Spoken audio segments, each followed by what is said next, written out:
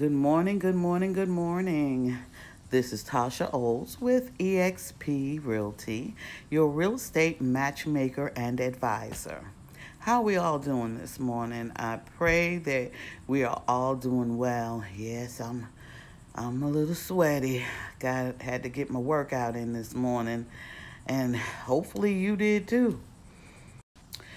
So, I wanted to talk to you all this morning I know you all have already heard about um, Opendoor agreeing to pay a fine of $62 million to the Federal Trade Commission for them deceiving the public, the sellers particularly.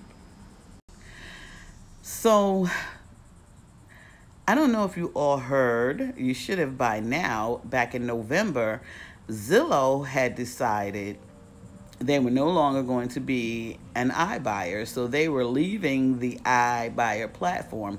It has been said that they had been losing millions and millions of dollars while they were still in the market, able to continue to purchase properties because they have so many investors backing them. However, in June of this year, they um, terminated 55 employees from the iBuyer sector.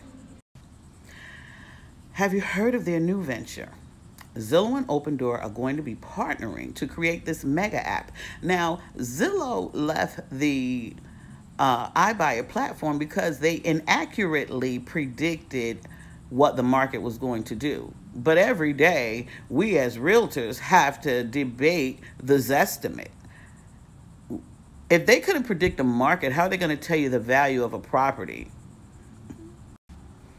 Now they say with this mega app, they want the public to fully understand all the avenues and the aspects of real estate and all of their choices.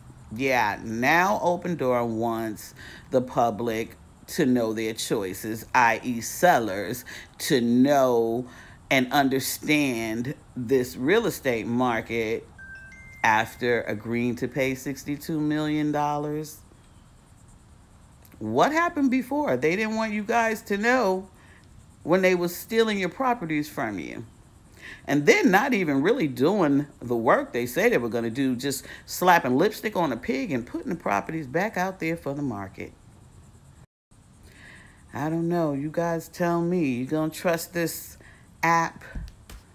Zillow couldn't make it happen. Opendoor done been fine.